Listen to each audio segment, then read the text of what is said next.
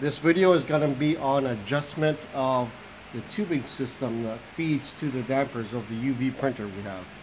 You see here that this tube is too short, which results in the damper not seating over the post of the head correctly.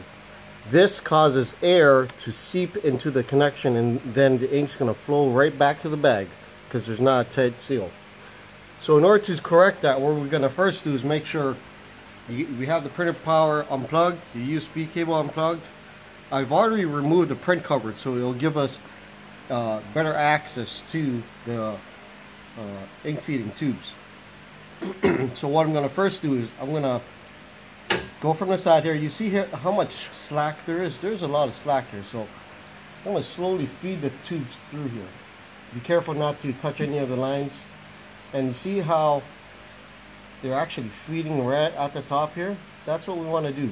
Maybe I give it about half an inch or an inch, just enough so that we can start to loosen up the two screws that are holding the mounting bracket that lines these tubes up in place.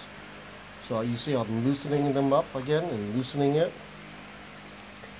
I don't entirely remove it, but once it's loose enough, then that's when you can pull through some more slack, which you see I'm doing right now.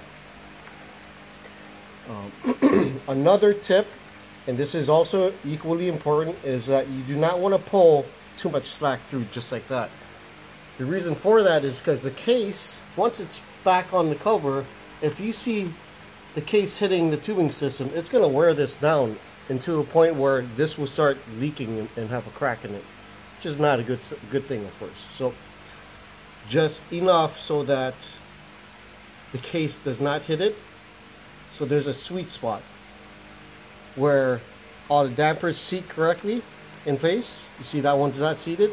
So you want to make sure they're all equally seated into place. And that looks pretty good. So now what do I do? Let's screw down the mounting bracket.